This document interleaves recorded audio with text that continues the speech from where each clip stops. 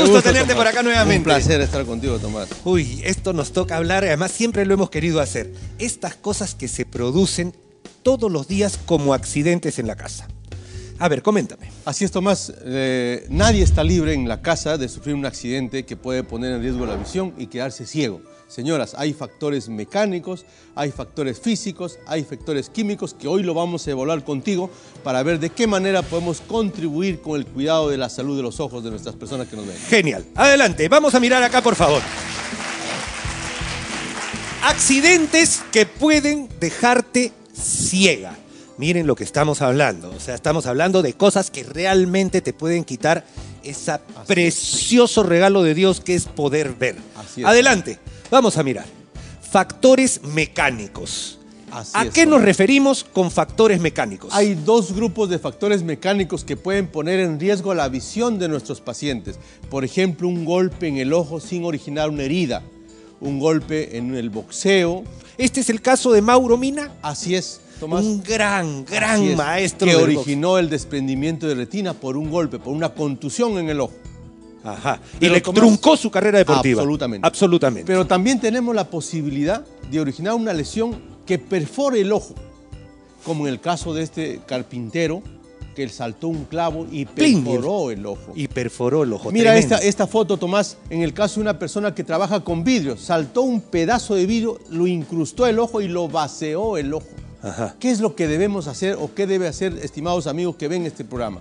Si por alguna razón usted tiene una lesión que ha vaciado su ojito, tápele su ojito con algo, con algo rígido. Por ejemplo, la base del vaso descartable, ese redondito, lo pueden poner encima del ojito para que pueda llegar al especialista y no lesionar más y no permitir que se vacíe el ojo. En el caso de que si hubiera una, una rama, un clavo, algo incrustado en el ojo, un lápiz, Tomás. Claro, baja las escaleras corriendo se- con un lápiz en la boca. O el amiguito, jugando. Tú sabes que los niños no miden el sí, riesgo. y juegan a espadas. Así, jueguen espada a con espadas. Eso es, algo tremendo. Y- Señores, y, pasa. Eso si no eso le ha pasado, no toque este clavo, no toque el lápiz, déjelo incrustado en el ojo hasta que lo vea el especialista, porque este clavo o este lápiz podría estar originando el efecto de taponamiento para que no se vacíe el ojito. Antes que lo vea el especialista, es mejor dejarlo así como está. Perfecto. Yo creo acá también tenemos que decir, si uno va a trabajar como carpintería, si uno va a trabajar con vidrio, si uno va a trabajar con un esmeril, tiene que usar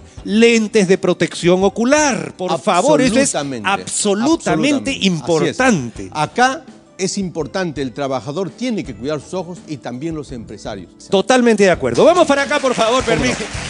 ¿Cómo ¿Me puede no? Hacer? Claro que sí.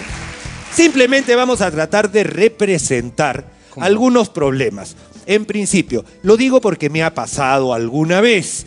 Hay deportes que juegan con pelotas de este tamaño, pelotas chiquitas, como por ejemplo el squash. Hay un deporte que se llama el squash que es muy violento, ¿no es cierto? Y que trabaja con pelotas de este tamaño. ¿Por qué son más peligrosas estas pelotas que las pelotas de tenis? Porque caben perfectamente en el ojo En el globo ocular. en el globo ocular. Una pelota de tenis, una pelota de fútbol, una pelota más grande, choca con el hueso antes de chocar con Así el es, ojo. Con la órbita. Ajá. La órbita protege. Pero esta pelotita, que es justamente casi el tamaño de la bolita del ojo, Exacto. lesiona al ojo de manera contusa y origina un problema grave dentro del ojito. Perfecto. Vamos a mirar acá qué es lo que podría pasar si es que nosotros metemos un puñete acá y vamos a hacerlo de arriba para abajo. Ajá. Miren ustedes qué pasó. Así es.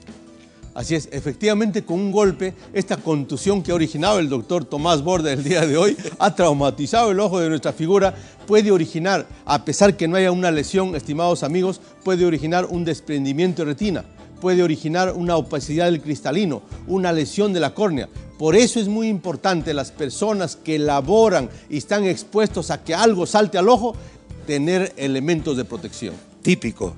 Podemos jugar espadas y los es, niñitos están es. jugando espadas es. con palitos de tejer, señora, imagínese.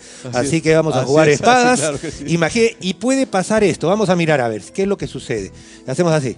Como está demostrando el doctor Tomás Borde, fíjese, mire esta lesión que está originando por un traumatismo mecánico que perfora el ojo y que pone en riesgo severamente la visión de nuestros hijos. Perfecto. Regresamos por acá. Y vamos a ver un segundo accidente, o por lo menos un segundo tema que nos puede producir lesiones Así irreversibles muchas veces. Factores físicos. ¿A Así qué es. nos referimos con factores físicos, Fermín, por favor? Tenemos pacientes que, so- que sueldan, por ejemplo, esta llama, esta chispa que se desprende de la soldadura.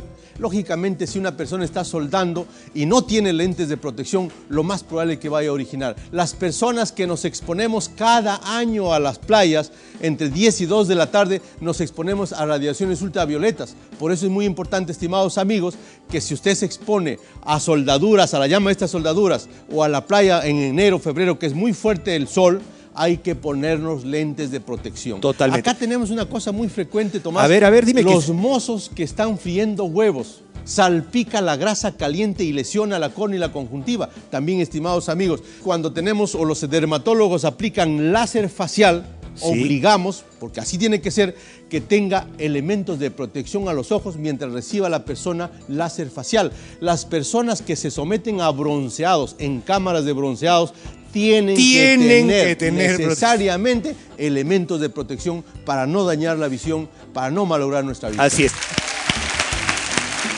Permíteme acá, porque acá hay una cosa importante. Con el efecto de la soldadura, Fermín, existen no? también varias razones. Primero, la luz tan potente. Yo he es. tenido alguna vez un caso que se presentó porque iba a haber un Así es. eclipse solar.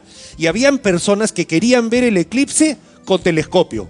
Así es. O sea, y, y nos Así tocó es, ver, o sea, es. imagínense ustedes proyectar una lupa gigante directo al sol y quemarse los ojos. Lo hemos es, visto en una emergencia, lo hemos visto. El espectro de la luz tiene estas radiaciones ultravioletas que dañan la retina a nivel de la mácula, dañan el cristalino, dañan la córnea y por eso es muy importante tener en cuenta estas medidas de precaución para cuidar nuestros ojos. Vamos a suponer, Fermín, que esto es una soldadura. Así es. No solamente las chispitas que a veces desprenden metales nos pueden caer al ojo, sino la potencia de la luz Así es, reflejada acá nos produce quemaduras, es. ¿no es cierto? Por eso hay que insistir, Tomás, que las personas que trabajan en esta actividad soldando tienen que tener necesariamente sus elementos de protección adecuada y siempre usar mientras están realizando esta labor.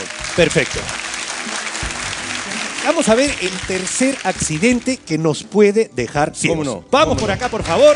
Claro que sí. Estamos, yo creo que estamos diciendo la carnecita de es. todo lo importante. A ver, adelante, señor director. Factores químicos. Ay, acá tenemos para hablar, Fermín. En la casa, Tomás, la lejía que sirve para limpiar nuestros baños, en el carro puede explotar nuestra batería. Batería. Origina una lesión con ácidos o con álcalis. Oiga, señor, si usted tiene esta lesión en la casa, en el carro o en cualquier parte, le entró accidentalmente una sustancia química, lo que tiene que hacer, estimado amigo, irse al caño de agua, Tomás. Ajá. 20 minutos en el chorro de agua lavándose, porque eso va a permitir que diluya la concentración, ya sea del ácido o del álcalis, y va a disminuir la lesión química que origina a la córnea y la conjuntiva. Lavando el ojo, lavando el ojo. Señor, es una cosa tan fácil, en la casa lo puede hacer. Y después que ha estado 20 minutos en, en el caño, lavándose el ojo, busque usted la asistencia médica. Perfecto. Vamos a mirar nuestra mesa de soluciones. Así es.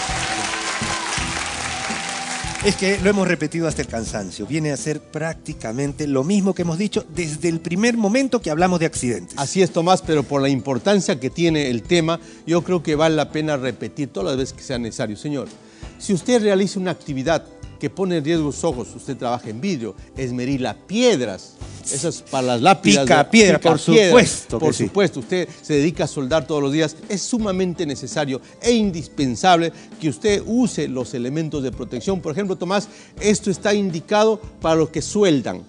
Esto está indicado para la gente de mantenimiento. O sea, cada tipo de trabajo, Tiene cada tipo, tipo de, de labor lente, claro. tiene un tipo de protección de lente. Es muy importante, señor, que usted no inicie su trabajo si antes no está puestos los elementos de protección. Y a los empresarios también hay que poner a disposición del personal que labora en determinadas actividades los elementos de protección adecuados para garantizar que no haya problemas de los ojos.